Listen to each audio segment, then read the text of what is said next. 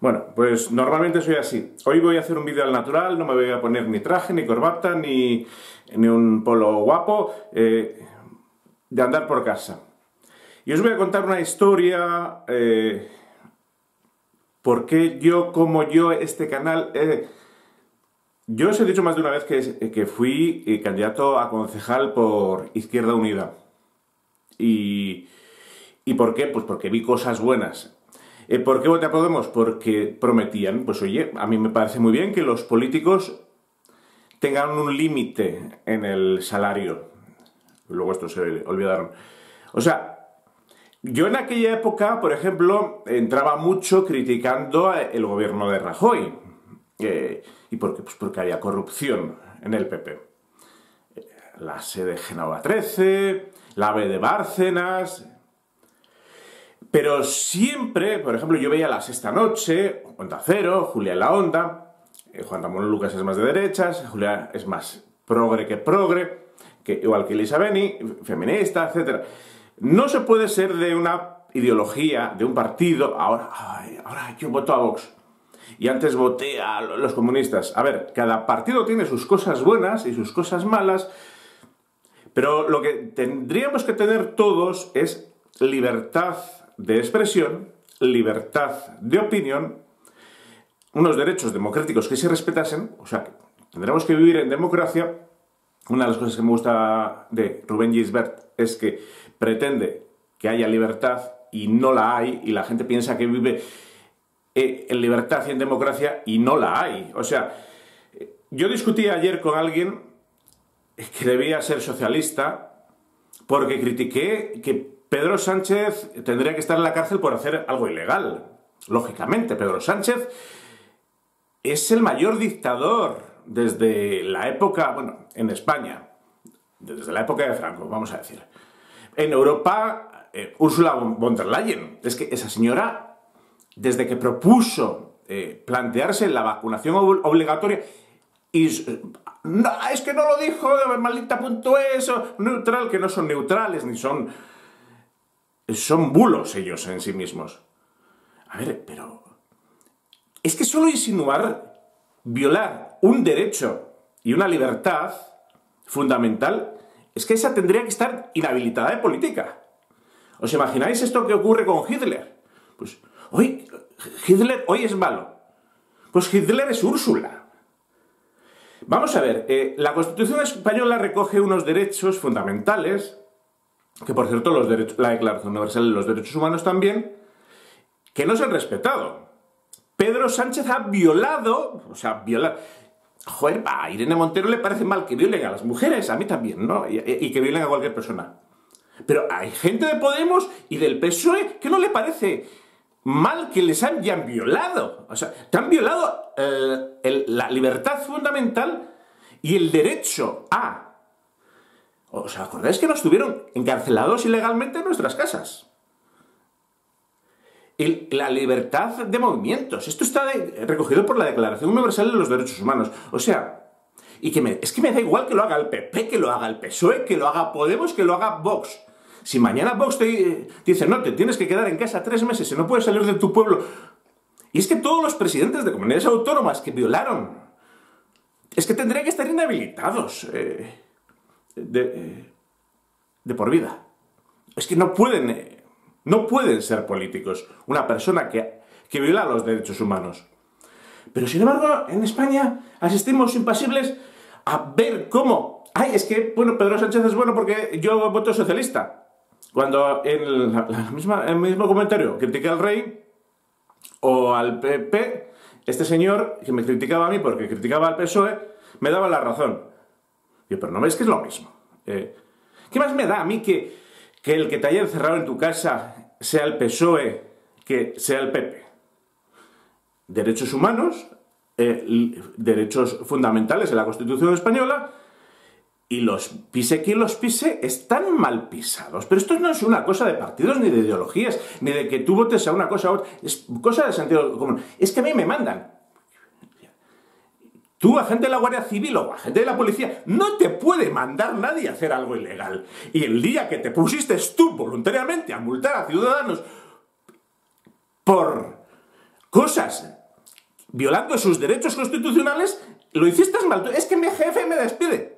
Pero vamos a ver, ¿para qué estás ahí de funcionario? ¿Para hacer cumplir la ley o para cobrar un sueldo? Bueno, termino con el vídeo de hoy porque quería hacer una reflexión rápida y me enrollo. Cuando yo era, pues, crítico del PP, a ver, yo he sido crítico, pero no es que fuera crítico del PP. Yo criticaba, pues, el escándalo de la caja B, el escándalo de corrupción, el escándalo del dinero negro, o critiqué incluso los hilillos aquellos negros, eh, la catástrofe ecológica del Prestige. O sea, yo critiqué lo que... ¿Y, ¿Y qué más me da? Que fuera el PSOE el que estuviese gobernando. Es que la gente tendría que ponerse en este punto de... Mira, que me decía el otro día Elisa Beni por Twitter. pero es que no... Tú tienes que ponerte en un punto y, tener unas, eh, unas miras, un, punto de vista eh, imparcial, independiente, objetivo, plural. Y yo, eh, mira, este ejercicio es muy básico. Tú planteate lo que te estás diciendo, o criticando, o que estás a favor. Tú estás en contra de esto porque lo hace Vox. Pero si lo hiciera el PSOE, ¿te parecería bien? Ah, pero si lo hace Vox está mal, ¿por qué si lo hace el PSOE está bien? O al revés, me da lo mismo. Una cosa está mal porque está mal y está bien porque está bien. Y si a ti te confinaron en tu casa y dice el Tribunal Constitucional que aquello fue ilegal, pues aquello fue ilegal. Y si dice el Tribunal Superior de Justicia que los presidentes de las comunidades autónomas no tenían competencias para eh, impedir la libertad de circulación, pues es que lo dicen los tribunales. Y lo dicen los tribunales porque están en las leyes y los derechos fundamentales y que el rey evadió Hacienda. Y, joder, pues está mal, pero está exactamente igual de mal que lo haya hecho el PP. Hay que, ¿Cómo te va a pedir a ti el ministro Montoro, era, el de Economía de Rajoy, que declares a Hacienda cuando ellos tenían cajave? Es que, básicamente, ese, partido político está inhabilitado pero luego por la corrupción del PSOE está inhabilitado. ¿Qué partidos quedan que no pues, estén inhabilitados? Por los que nos quedan. Yo en aquel entonces, que criticaba a Rajoy eh, y veía la sexta noche, oía mucha gente que se quejaba y criticaba la aparición de Inda y Maruenda. O sea, porque Inda y Maruenda, como son no podían opinar. ¿Cómo que no van a poder opinar? ¿Pero qué democracia es esta? Inda y Marueta tienen derecho a opinar igual que tú, compartas o no su opinión. Yo hay opiniones que comparto. Mira, Elizabeth el otro día, la sexta noche, la di la razón. No porque tuviera razón en el argumento, sino porque defendía la pluralidad o la presunción de inocencia de, antes de juzgarle a Tú puedes pensar lo que quieras, pero hay unas leyes y una justicia y tú no puedes condenar a nadie antes de que sea condenado por los tribunales. Tú puedes pensar que es culpable, puedes pensar que es inocente, pero darle la presunción de inocencia. En fin, eh, no voy a decir nada más. Ponte en el punto de vista del otro y comprende al otro. ¿Por qué Rusia esto? Pues porque igual se sintió amenazada. ¿Por qué se sintió amenazada? ¿La amenazaron o no la amenazaron? Es que hay que ver, las cosas desde dos puntos de vista. Y cuando te han hecho ver las cosas eh, desde un solo punto de vista, mal vamos. Cuando solo te dejan un punto de vista y un... Esto es lo que hay que opinar, ¿por qué? Y, y Gisbert, cuando fue a Rusia, fue muy criticado por lo que dijo y, por intentar abrir los ojos. Tú puedes estar a favor de él o en contra de él, pero tú mira lo que te está diciendo, o lo que, no, no lo que te está diciendo, lo que te está mostrando.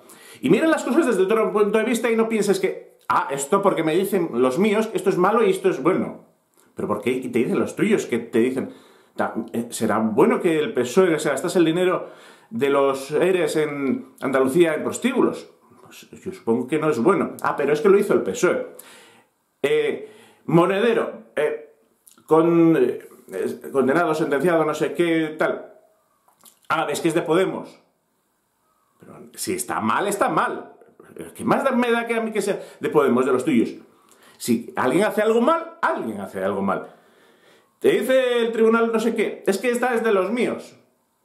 Es que el PP, es que si le dejamos al PSOE, pues el PSOE tendrá razón las veces que la tenga y el PP tendrá la razón las veces que la tenga. Y a mí si me dice Pablo Iglesias, Turrión, que está muy mal que los políticos tengan unos salarios, de, unos salarios desproporcionados y, y digan vamos a limitarnos el sueldo, pues me parece bien es que tres veces el mínimo interprofesional es el máximo, el tope. Que... Digo, joder, yo os aplaudo.